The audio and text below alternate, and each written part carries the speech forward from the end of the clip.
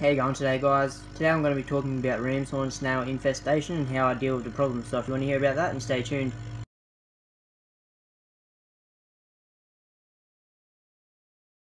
How you going today guys? Blair's Aquatics come back at you with another video. Today I'm going to be talking about pond snails and ram's horn snails infestation in your aquarium and how to deal with them the most appropriate way.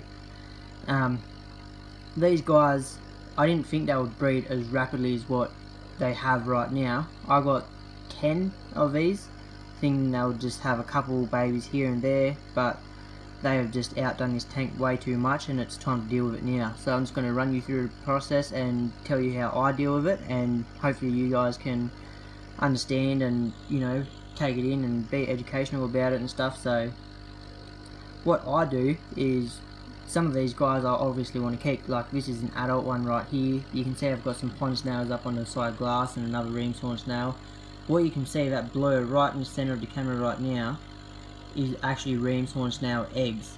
And as you can see every little dot there is a baby snail. And I've got them everywhere. Let's see if I can focus in.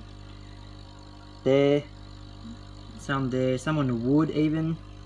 Um, they're also all over my leaves of my plants and stuff, so they love it.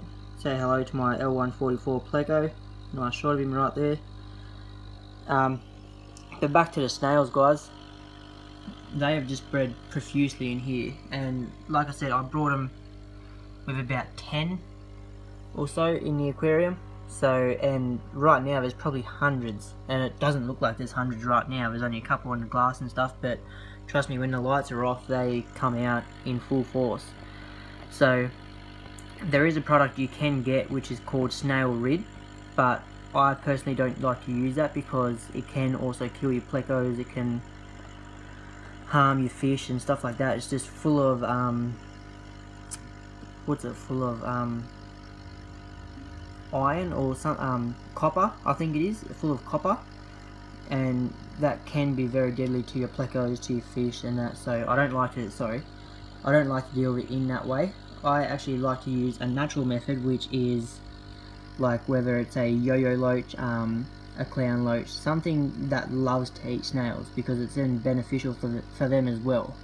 Um, if you can get yourself a yo-yo loach or a clown loach something um, even a coolie loach for little pond snails, then go ahead and do it because that's going to be a beneficial food for um, your loach, but then it's also going to get rid of your problem. So in my aquarium next to me, my three foot long aquarium, I had a huge, huge pond snail infestation and I put one yo-yo loach in there and honestly within two weeks all the snails were gone there was none on the glass, there was none on the ground, stuff like that. So from this tank now, I now just take a handful out, I'll throw them into my other tank and he'll just come and eat them up. He'll do his job for me and stuff. So it's awesome. When there's a natural way that you can handle a problem, then do it that way.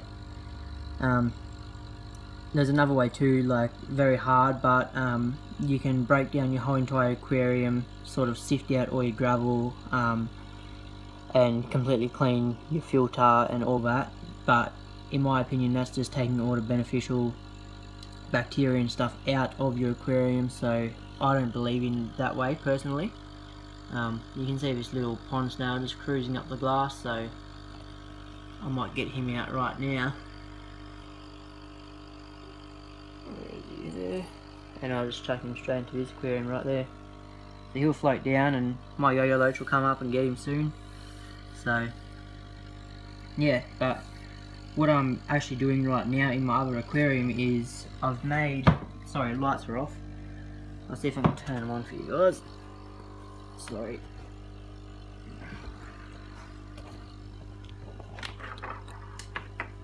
Alright.